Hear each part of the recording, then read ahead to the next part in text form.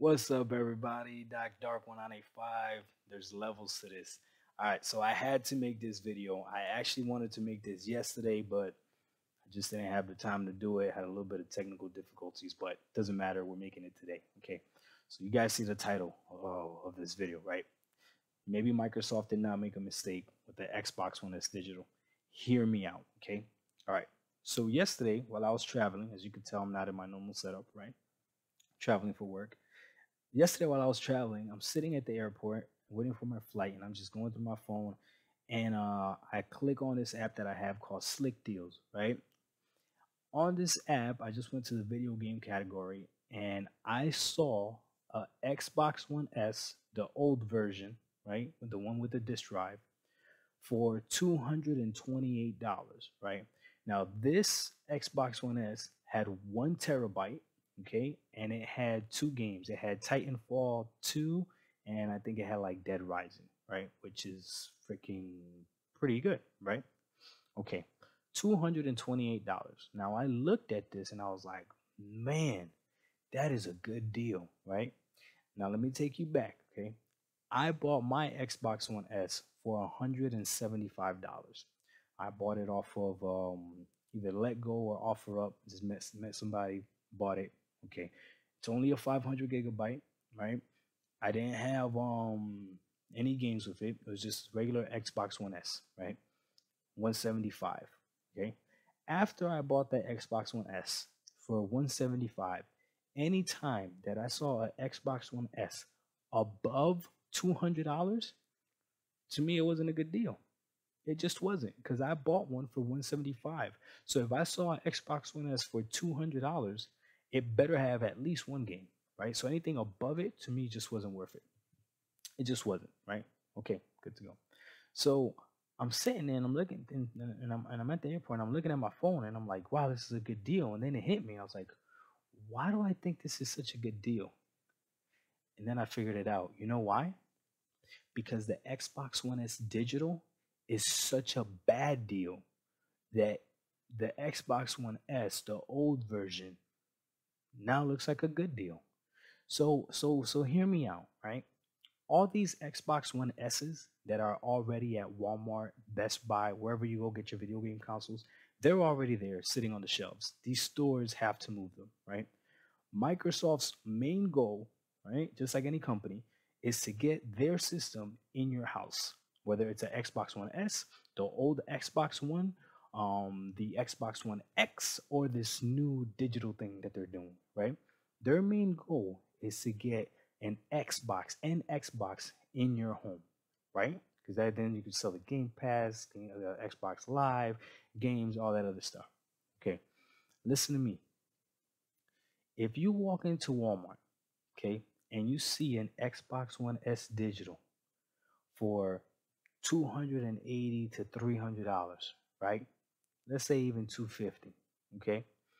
But right next to it you see a xbox one s the old version with the disk drive okay?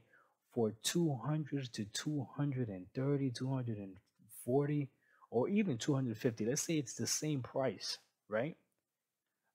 Which one are you going to automatically think is the better deal? Number one the cheaper xbox right? The old one and the one that has the extra feature, which is a disk drive. Okay. Now think about this from a sales perspective. I'm working at Walmart. You walk into the store, you're a parent, you're a mom, you're a dad trying to buy your, son, daughter an Xbox, right? You see the Xbox One S digital, it says new on it, blah, blah, blah, this other stuff, right? Then right next to you, or even on the bottom shelf, you see the Xbox One S old version, and you say, "Hey, uh, I'm thinking I want to get this, blah blah blah, this, this and that," and I tell you, sir, ma'am, listen, you can save twenty dollars, thirty dollars, forty dollars, fifty dollars. I don't know. I don't know what what these um, stores are going to drop the price of the Xbox One S to is going to be, right? But you can save X amount of money if you just buy this Xbox One S, which is the exact same thing as this one, except the disk drive is still there in this one. So you can actually buy our used games that we have, our value games that we have. You could still go to GameStop and get more games for your son, daughter, or whatever, right? Which one you think that parent is going to go with? They're going to go for the old Xbox One S. And the only reason I'm, I'm calling it the old Xbox One S is because it's literally the exact same thing, except they just removed the disk drive, right? So think about this, right? What if Microsoft did this on purpose? Because, like I said, all these Xbox One S's are already in store. They're already there. So they got to get moved. Microsoft, however, still has control as to how many Xbox One S digitals they end up making. So if their intent was to push out all these Xbox One S's, the old ones that are in stores, and just have a few in freaking the digital versions in there, just just to sell those as well, but not to make the same amount as the Xbox One S. I think this is gonna work because the same way that I saw that Xbox One S for 228 and under normal under different circumstances, I wouldn't have even looked twice. I would be like, "Oh, okay, it's a decent deal." But I didn't think it was a decent deal. I thought it was an amazing deal. Again, because of I because I know how much this Xbox One S digital is going to cost. And here's the thing: Microsoft might be playing on our psychology because there's plenty of times. Okay, you don't have to admit it if you don't want to, but I'm sure you have bought something that you didn't need just because it was on sale, just because it was a good deal. I know I have. No shame. I know I have. It's a good deal. I can't let that pass up. I got I gotta get it. For all you PC gamers out, out there, Steam sales. You already know. You already know. Steam sale comes down, you're like, I wasn't even thinking about buying this game. I really don't I really don't need it. And you buy it because it's, it's a good deal. Gotta get it now especially when that sale has an end date to it. Oh Lord Jesus, you know you got to get it right. Okay. Anyways, I digress. I come back. The only way we're gonna find out if this is true is depending on how many Xbox One S digitals Microsoft actually makes, and it makes sense why they would make it look the exact same. That's the only logic I can think. Because if if they didn't make it smaller, if they didn't make it smaller, I'm losing my voice here.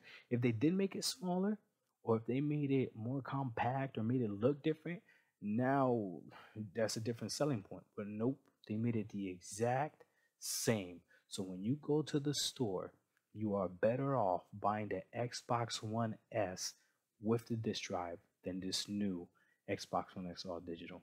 I think what they're trying to do is get as many Xboxes in people's homes as possible, and I think this is going to work Initially, they got me. They got me upset. I made a video about it, how I thought it was dumb. I still think they're selling us a broken Xbox One S, but now I see the logic as to why they're doing it. And let me tell you something else the press that this thing is getting is ridiculous. There's a saying that there's no such thing as bad press. This is true. This is true because all this is doing is elevating that Xbox One S with the disk drive. That's all this is doing. Everybody else is looking at Xbox One S digital as something bad, but it's elevating the Xbox One S with the disk drive. Think about it, guys. Maybe I'm reaching. If I'm reaching, let me know. But I think I'm right on this. Let me know what you guys think. Peace.